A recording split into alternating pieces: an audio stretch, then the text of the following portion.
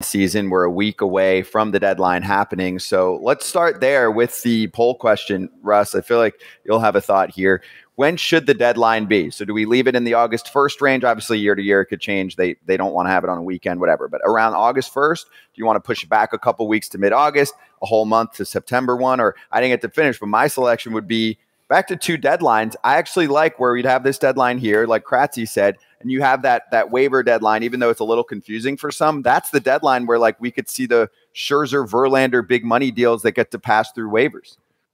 At what the third wild card spot has done, it's forced teams, and we talked about this over the last couple of weeks. It's forced teams to decide: all right, am I going to be a buyer or am I going to be a seller? I think with the old system, you kind of had to, you got the, the ability to straddle the fence for another month, where it's like, ah, I'm a buyer, I might be a seller and I think you're you see we see more activity because teams have to decide, all right, what am I going to be? No, I don't think that's straddling the fence. I think the biggest thing is like you might get hamstrung and something happens, you can still pick up a guy. You can still, like Scotty said, all right, you know, we're going to make a midnight midnight decision on Verlander and pick up a contract because no one else is going to pick up that contract. I like that. I don't feel like it's kicking the can down the road, I feel like it's like, oh crap, we still need some help here, and that kind of stuff can still happen. Do you feel like we've seen more activity though, like over the last couple years since we've gone to the one, the one deadline as opposed to having the waiver deadline and then the trade deadline? Because I feel like we have because they, I do do think teams feel like all right, I won't be able to do anything until the offseason I, I hear what you're saying, but I also I would like to see it play out a little bit longer because I think the whole impending CBA that had to do with. I mean, think about some of the big names that that left the Cubs right in your city. There, they just started selling people off because they didn't know what was going to happen with the CBA. They didn't. They were getting value. They didn't know who was going to get draft picks from different stuff from keeping guys. And I think, I think this year, I don't think it's going to be quite the same. But hey, it's been quiet. It. has been quiet, and for me, I'm always going because I don't have any. Like, I'm I'm not rooting for a team. I'm just rooting for action and for our sport. What makes our sport most relevant in the dog days of August? More trade talk. Even though it's different trade talk, it's more limited trade talk because guys have to pass through waivers. That's that's my concept there. So anyway, yeah. everyone can still vote. Watchstadium.com slash foul territory. Okay, Russ, let's start with your neck of the woods. The Chicago White Sox are definitely, definitely sellers how far will they go?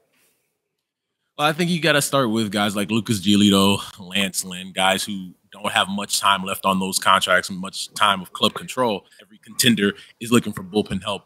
And then if if I'm Rick Hahn, you'd have to blow me away with a deal for me to move Dylan Cease. And then I think the other guy people talk about is Tim Anderson, who has not played like Tim Anderson for the whole season, but since the the All Star break has an OPS of almost 900. So I would say you let TA build that value back up in the second half, and then if you still wanted to move him, you move him in the off season as opposed to right now. Let me let me ask you this. So Eric and I had a conversation about Tim Anderson moving, and I said I think it'd be a, a good idea to move him. He said his value's too high, like too low. Too low. Sorry, he said his value's too low. Sorry, but what what do you think on that situation? I I think any team would, would take him in a heartbeat. No, I think I think there is something to that side of like a change of scenery, right? Like just a mm-hmm. guy who's been really not like himself. And if you put him in a situation where if he's in LA with the Dodgers or somewhere like that, where now you're around other superstars, you're around Mookie Betts, you're around Freddie Freeman, right? You're around JD Martinez, these guys who've won before, and you're in that environment, maybe that helps you raise your level of production to where teams have seen you. If I'm a team like the Dodgers, sure, uh, who doesn't want to buy low on Tim Anderson right now? Because I feel with a couple different tweaks, being in an environment of winning, you're going to get the best version of that player. So I, I can understand that. I just think from the White Sox perspective, a guy like a Tim Anderson, when his when he is producing, he's so valuable in terms of trade. I just don't know if you want to sell low with the fact that you really don't have that many assets that you'll be able to get decent prospect capital back for in return. All right, you said Lance Lynn. Lance Lynn's value is lower or higher than TA's value right now? I think it's higher in terms of you look at where he is contractually, where he could be a rental, he could opt out uh, at the end of this year. And I also think he's a guy that has that playoff experience. And if I'm a young team with a young rotation, having a guy like that in the room where young guys can bounce things off of him, like I think of him for a, a team like the, the Arizona Diamondbacks. You're about to be in, in a heated NL West race, or if I'm the Baltimore Orioles, having a guy like that in the room where he's pitched in the AL East before against the Red Sox of the world, and he's pitched for the Yankees, he's pitched against the Toronto Blue Jays. I think that's really valuable to to two teams like that who are younger staffs. I set the over under on the White Sox, three and a half players traded. What are you taking? All right, three and a half. So the three we named, Giolito, Lynn, Graveman, and that would put us at one more. Somebody packaged up? Yeah, maybe. Maybe. Yeah. Um, Give him the answer. I, I, just like because you see names thrown out there for the White Sox. Like you see Yoan Moncada's name out there, where it, for a guy that's been injured most of the 2023 season, I don't necessarily see that one. But could somebody take a flyer on a Joe Kelly? right? A guy who's pitched in the postseason, even though you look at the numbers, it's not what we've usually seen in the past from Joe Kelly. Could you pick him up for, for a team and say, all right, we don't need Joe Kelly of 2019, 2020, 2021. But if you could be a guy who could pitch in the fifth, sixth, seventh inning for us to bridge to our guys in the back end, I think that's something that could happen too. That's an easy over for me. All right. By the White over. Sox. All that to say yes. I should have. I didn't. I didn't actually say an answer. yes, yes, yes isn't an over under. yes. so you're taking one, the over. They they have yes, other over. bullpen arms. At least one other bullpen arm out of. I mean, half the guys I'm looking at, at least one of them will get dealt. That's a. Oh, Keynan Middleton. Easy over. Yeah, Middleton. There, there, are a lot of names Middleton. on here. Even like if a team just needs depth, like a, a Touki Toussaint, um, Joe Kelly, if they want to pay some money down, there's plenty of names on here in my mind that could get dealt. easy over. Easy over. Book it. And and Kratz already owes me one on a bet, so Oof. I might double or nothing. I don't know. Okay. What do you think? Are you over under? Oh, I'm over. On. Over. Okay. I uh, couldn't. I couldn't set it at four and a half, so that's why I set it at high. three and a half. Too high. Okay. Padres in or out? Ken Rosenthal had his fair territory show released as usual on Mondays, and I think surprised some when he was pretty confident that this team is still going to buy. Now, are they going to buy at the top of the market? Not necessarily, but do you believe that this Padres team, despite still being mediocre since the All Star break, is going to say, you know what, screw it, let's add a couple more pieces and see what happens?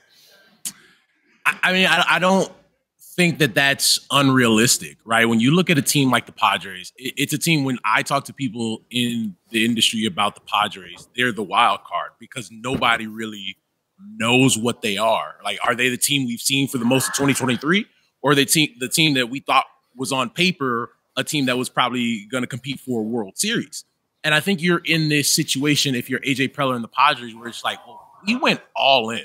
We went out and we got Soto at the deadline last year. We got Josh Hader. We brought in Xander Bogaerts to play with Manny Machado and now Fernando Tatis Jr. You almost have to be committed to going for it. I personally, and I've said it for the last couple weeks, I still think that they have uh, a stretch of 20 games of really good baseball. But will that be enough with the teams that are there in fourth place in the NLS? You have three teams in front of you. Do you hope that you can play better than a young team like the Arizona Diamondbacks that haven't been in this position together before? Maybe. Do you feel like you have enough top end talent to be better than the San Francisco Giants?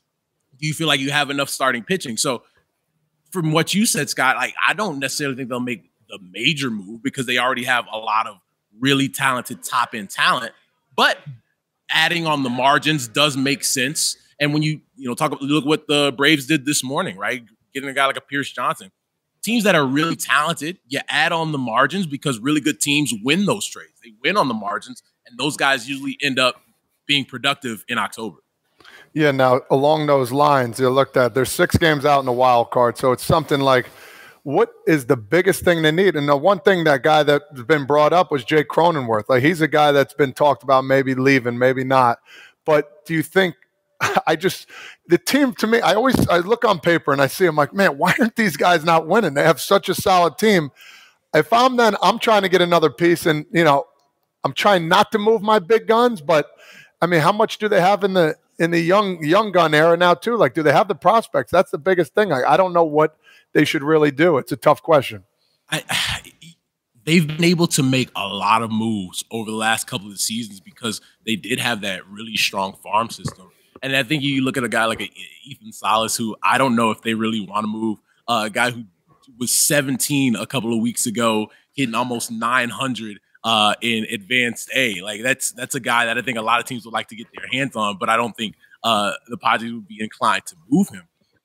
And you're right. I think with Jake Cronenworth, that was a guy that they extended right in this past off season, and you expected him to continue to ascend. Hasn't really had that uh, production that you thought you'd see from him after what we've seen the last couple of years.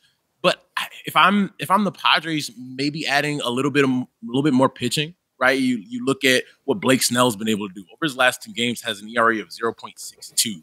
That is uh he's really showing out. He's showing us that he's back to being Cy Young Blake Snell, but I don't think playoff teams, I don't think teams that really want to compete for that World Series can ever have enough starting pitching. And I think there's going to be enough starters available, even if it's not the high end guys like Marcus Stroman, maybe a Jordan Montgomery, right? Like maybe that's somebody that can fit for what they want to do. Maybe adding a little bit of bullpen help in the back end, like a guy like a Kendall Graveman who we just talked about. I think those would likely be the pieces that they add, not the major.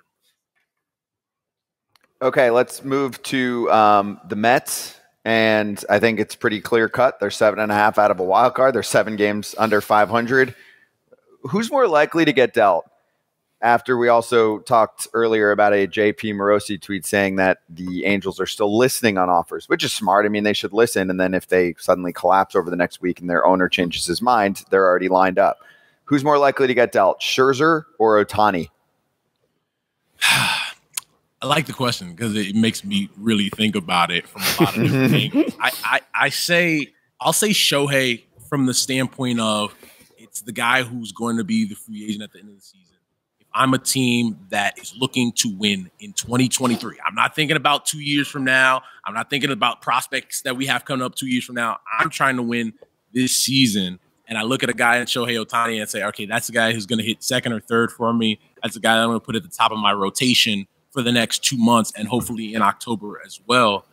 Like I'm gonna do everything I can to get that guy. Like, but who is that team, right? Who is fearless enough to say what happens this offseason doesn't matter. I know Shohei's going to get $600 million, but I'm going to give up the prospect capital it takes to bring him in and hopefully go all in on this season. So I'm going to say Shohei. Okay. I like it. Yeah, it's a good question. Um, and then lastly, let's get a fan question in there uh, based on our White Sox talk from earlier. AJ Early, big White Sox guy in our chat, usually says, Why is Rick Hahn getting a chance to do a third rebuild in 11 seasons when they only have two winning seasons in those 11 seasons. And one of them was the COVID year, which was doesn't really count. So doesn't you, count. You've won once in 10 years with two rebuilds, and now this is going to be number three if they start to tear it down. It's a it's it's a really fair question from a fan base that has been waiting for a long time for them to get things right.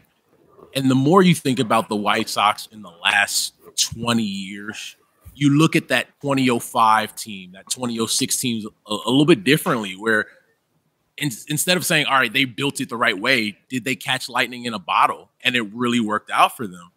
Like you, you look at since since Todd was there, right? You look at that the, the Samardzija Marcus Semien trade, and then they move on from those guys, and you bring in Yoan Moncada, you trade Chris Sale, and then that doesn't work. Now you have this core of players where the mix just isn't right.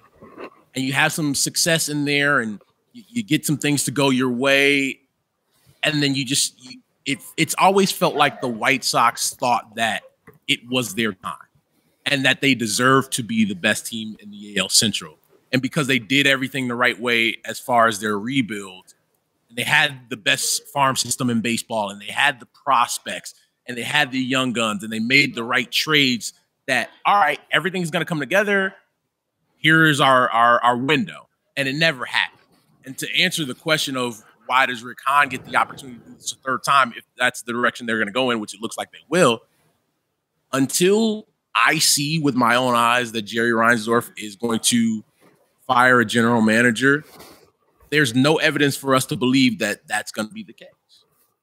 And so, if if that's not, if we're going to just go off of what we've seen, I imagine that Rick does get another opportunity to try to get this thing right for the White Sox. Jerry doesn't fire anybody, but I need you more definitively. Okay, here I need a definitive answer. And quick, we're tight on time. Okay. okay. Do the Cubs trade more guys or the White Sox trade more guys at the break? White Sox. White Sox.